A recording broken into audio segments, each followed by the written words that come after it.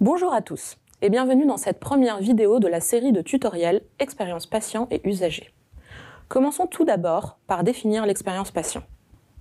Mais avant tout, précisons que pour simplifier, le terme patient est entendu ici dans son sens le plus large. Il désigne toute personne qui bénéficie d'une prise en charge dans un parcours ou un établissement, qu'il soit sanitaire ou médico-social. L'expérience patient est la perception qu'ont les patients de leur vécu tout au long de leur parcours de soins. Cela peut être, par exemple, ce qu'ils voient, ce qu'ils pensent, ce qu'ils entendent ou ce qu'ils comprennent.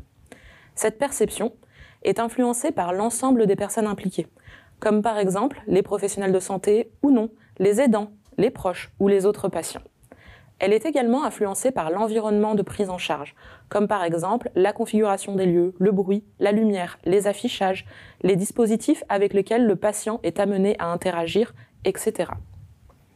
En tant que démarche, l'expérience patient nécessite de tenir compte de l'expérience des personnes dans les projets de son organisation.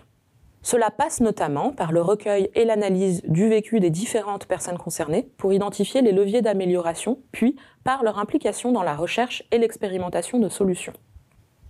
L'analyse des besoins des patients est une clé de lecture de son organisation, c'est-à-dire qu'il ne s'agit pas de ne regarder que les besoins et attentes des patients, mais plutôt de regarder son organisation tout entière depuis ce point de vue.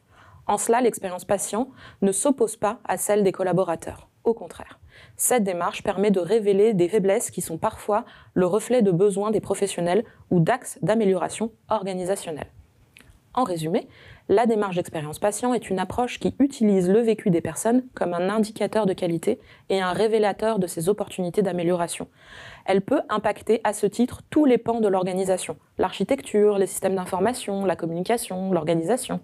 En cela, on peut considérer que l'expérience patient est une démarche transversale et qu'elle peut être un réel levier de performance, en révélant des axes d'amélioration qui étaient jusque-là dans l'angle mort. Pour qu'elle remplisse ce rôle, il est important de respecter quatre piliers fondamentaux. Pilier 1, adopter une posture d'écoute et non d'audit pour s'intéresser au vécu.